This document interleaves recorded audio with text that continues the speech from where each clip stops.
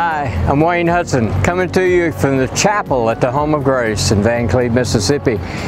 Today, and we're looking at uh, pr the progress that's been made on this project. You may recall that at one point in time, we were in danger of losing a very large portion of this building as a result of the uh, flooding that's taken place on Bluff Creek here over the years. We've finally come to a place now where the building is safe and it's stable Concrete has been poured and uh, we're nearing the completion of this project.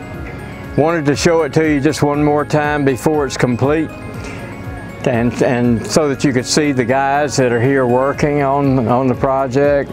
These are men who are in the, actually in the program and they're part of our work program. And um, so but mainly today, I wanted those of you who made donations to this project to see that your money is being well spent.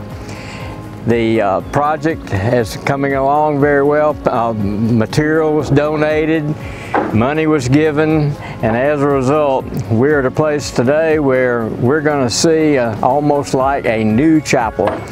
And uh, something that has been a part of the history of the Home of Grace for many years, since 1965, is now uh, safe and sound and will um, be here hopefully for another 50 plus years, if not more.